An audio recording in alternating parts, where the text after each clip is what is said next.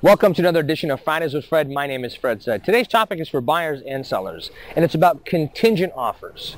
I get questions asked of me here and there. Sometimes I get contingent offers on my listings. Sometimes I write contingent offers for buyers. So what's a contingent offer? Let's give a scenario. Let's say the buyer wants to buy the seller's home, right?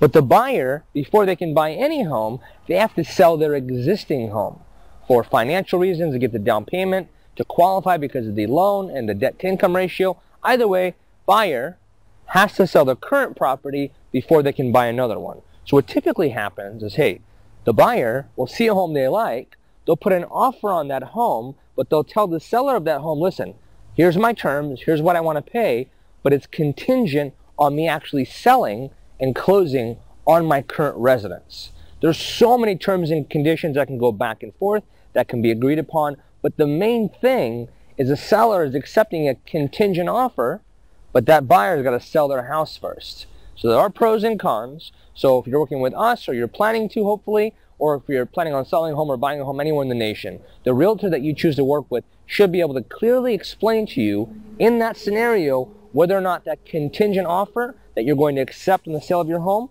is the right thing to do, or if you're buying a home, what's the best way to write a contingent offer so that the seller of the home that I want will accept it.